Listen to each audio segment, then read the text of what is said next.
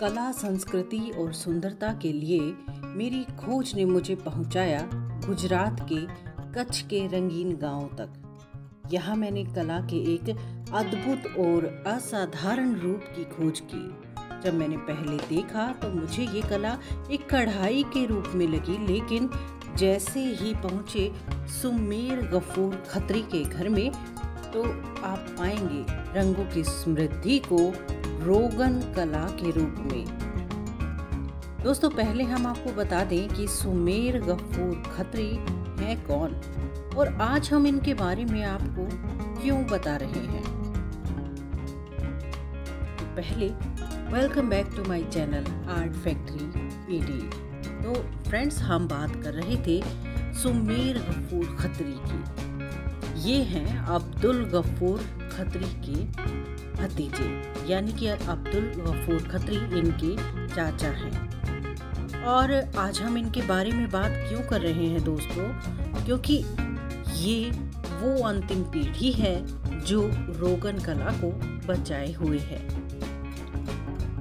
ये है कच्छ ज़िले के गुजरात में रहने वाले एक रोगन कलाकार।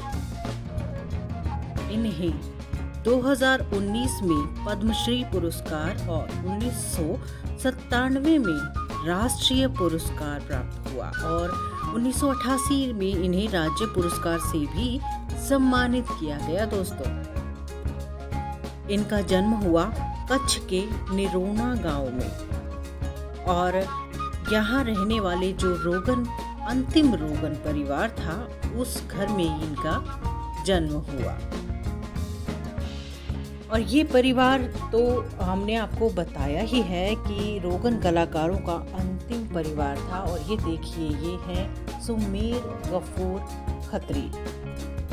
सन 2014 में भारतीय प्रधानमंत्री श्री नरेंद्र मोदी जी जो आ, अमेरिका गए थे ना जब तो व्हाइट हाउस का उन्होंने दौरा किया।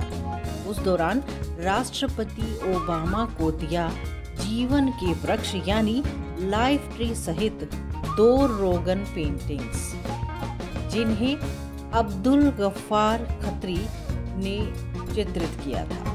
दोस्तों, कितनी बड़ी बात है ना ये इनके लिए, और वो भी क्यों ना इतनी मेहनत करते हैं। हम आगे अभी आपको बताने वाले हैं कि किस तरह से ये काम किया जाता है और किस तरह से ये कितनी मुश्किलों के बाद तैयार होता है। अब बात करते हैं रोगन कला के बारे में।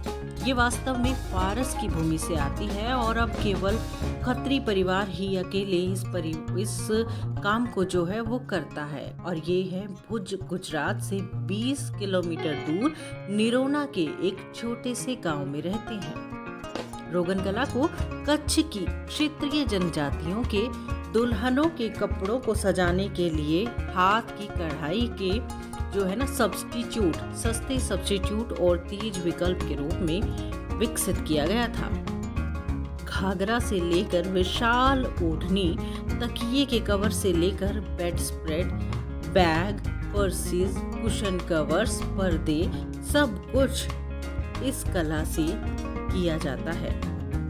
इस कला में लोक कला रूप फारसी वास्तुकला और रेखीय कढ़ाई पैटर्न का समायोजन शामिल है। दोस्तों, ये जो कला है ना, ये तीन चरणों में की जाती है। और बहुत ही खूबसूरत जो है ना, ये कला है दोस्तों, पहले चरण में जो है ना, रंगों की बुनियादी तैयार की जाती है। यानी रंग किस तरह से तैयार किए जाते हैं, उन्हें किस तरह से लॉन्ग लास्टिक बनाया जाता है ये सब इसका फ़र्स्ट स्टेज होता है। तो हम आपको ये सब बातें बताएँगे तो लेकिन उससे पहले आप ये जान लें कि जो रोगन कला है ना दोस्तों ये जब आ, हमारा कोरोना काल आया था उस समय पर ऑनलाइन इन्होंने व्यापार करके इसको थोड़ा सा मरती हुई इस कला को साँसें दी है। इसे जन जन तक पहुँचाने की कोशिश भी की है। दोस्तों, हम बात कर रहे थे रोगन कला के तीन चरणों की। तो पहला चरण होता है रंग, यानी कि बुनियादी तैयारी। दोस्तों, इस पहले चरण में अरंडी के तेल को एक खवतानक तक गर्म किया जाता है, ताकि ये एक गाढ़ा, चिपचिपा गूदा बन जाए। इसमें उचित मात्रा में पिगमेंट मिलाए जाते हैं, दोस्तों। और इस प्रकार हमें लाल, पीले, सफ़ेद, हरे, नीले सब रंग मिलते हैं। और ये जो रंग है ना दोस्तों, ये लोग बिल्कुल जो है ना हमारे प्राकृतिक रंग, उनका इस्तेमाल करते हैं। और इन रंगों को जो है ना लंबे टाइम तक बनाए रखने के लिए ये पानी के साथ कंटेनरों में इसको जो है ना संभाल कर रखते हैं। यानी कि आप देख रहे हैं पिक्चर में कि पानी के अंदर ये जो रंग है ना, ये रखा जाता है। और ये प्रक्रिया है ना दोस्तों, तीन दिनों तक चलती है। तीन दिन तक ये कलर बनते हैं और ये कलर्स बनाने के लिए ना इन्हें गहरे जंगलों में जाना पड़ता है। क्योंकि जब ये कलर बनते हैं ना तो बहुत ही ज़्यादा तेज गंध छोड़ते हैं। तो दोस्तों, देखिए, कलर बनाना इतना मुश्किल है तो इसका काम करना कितना मुश्किल होगा। हम सबको चाहिए कि हम इस जो है ना, आर्ट को किसी भी तरह से ट्राई करें, इसको देखें, समझें, सीखें, अपने बच्चों को बताएँ, आने वाली पीढ़ी को समझाएँ। तो अब बात करते हैं हमारे दूसरे चरण की। तो दोस्तों, दूसरे चरण में काम किस तरह से होता है? अब आपको हम ये बता रहे हैं, ध्यान से सुनिएगा। जो आ, सुमेर भाई है ना गफ्फू अब्दुल गफ्फूर भाई के जो है भतीजे तो ज़मीन पर बैठते हैं। खाली कपड़े को अपनी जांघों पर रखते हैं बिल्कुल संभाल कर सटीक तरह से उसको अपनी जांघों पर रखते हैं और उसके बाद उस कपड़े को अपनी जीन्स पर पिनअप करते हैं ताकि ये कपड़ा है ना ये बराबर रहे बिल्कुल भी हिल ना पाए। तो दोस्तों, देखिए, ना ही कोई फ्रेम है, ना ही कोई अड्डा है, लेकिन फिर भी इस काम की खूबसूरती देखिए और कितनी मेहनत के साथ ये काम किया जाता होगा, आप इस चीज़ को सोच सकते हैं, समझ सकते हैं। तो अब बात करते हैं हम तीसरे और अंतिम चरण की, जो सबसे ज़्यादा इम्पोर्टेंट है। और सबसे ज़्यादा टाइम कंज्यूमिंग भी यही चरण है दोस्तों। पेंटिंग की प्रक्रिया अब शुरू होती है। अब सुमेर भाई यानी अब्दुल भाई जो है ना ये दोनों धातु के एक स्टाइलिश की मदद से जो आप देख रहे हैं आ, हमारी इस पिक्चर में तो ये एक धातु के स्टाइलिश की मदद से जो रंगीन लुगदी नुमा जो कलर है ना उसको अपनी हथेली पर लेते हैं और उसको तब तक हथेली पर स्टाइलिश से मसलते हैं हिलाते हैं जब तक वो रंग एक धागे नुमा ना हो जाए। एक धागे की तरह स्थिरता तक फैलाया ना जाए। यानी कि जब कपड़े पर डिज़ाइन करना शुरू करते हैं ना, उससे पहले भी कम से कम एक घंटा उस कलर को मिक्स करने में लग जाता है हाथों पर। तो फिर इसके बाद जो है ना, कपड़े पर डिज़ाइन करने के लिए जब हम इस काम को करते हैं ना तो ये जो वर्क है ना, ये जो आर्ट है, इसको ट्रेस नहीं किया जाता दोस्तों। ज़ाहिर तौर पर कपड़े पर कोई भी ट्रेसिंग नहीं होती तो जो डिज़ाइन है ना, वो सब फ्री हैंड किया जाता है। ये जो पेंटिंग है, ये फ्री हैंड जटिल पेंटिंग अनुभव के साथ सटीकता और सहजता का नतीजा होता है।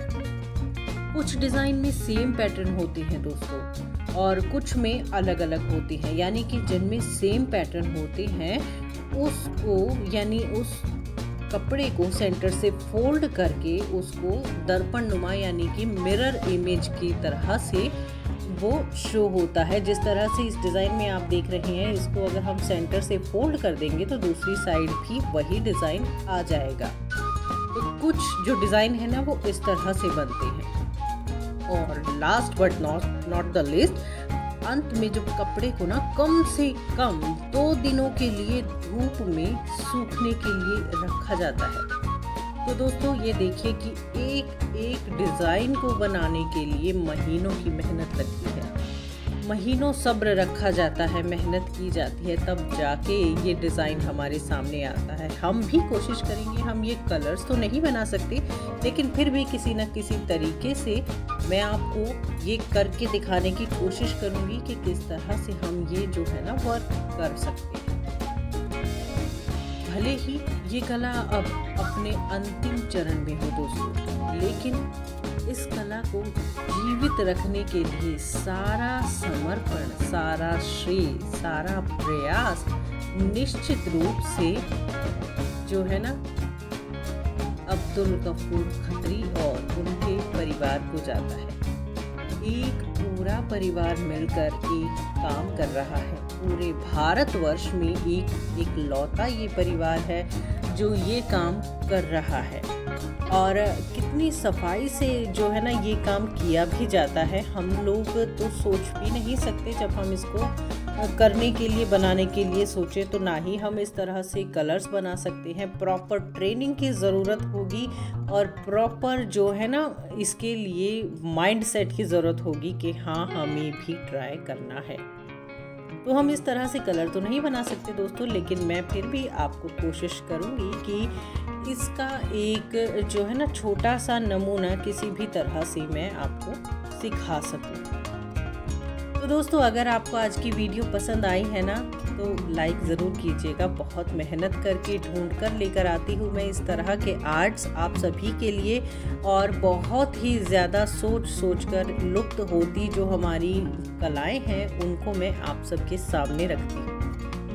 तो इन कलाओं को लुप्त होने से आपको भी तो बचाना है। आप लोग भी कोशिश कीजिए, मैं भी कोशिश कर रही हूँ।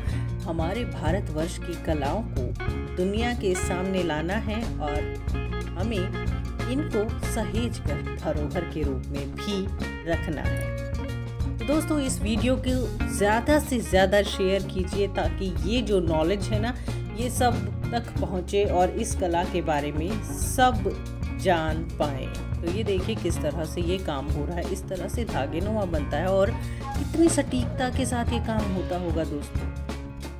तो हम इसके बारे में और भी बातें करेंगे जब हम इस इस टॉपिक पर एक वीडियो और बनाएँगे।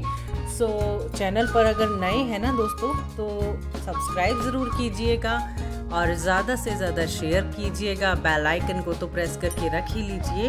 और अब ये देखिए सौ साल पुराना ये ब्राइडल घाघरा है जो इस कला से बना हुआ है। इसको देखिए और बताइएगा आपको वीडियो कैसी लगी। कमेंट सेक्शन में आपके कमेंट्स का मुझे रहेगा इंतज़ार। हमेशा की तरह फिर मिलेंगे।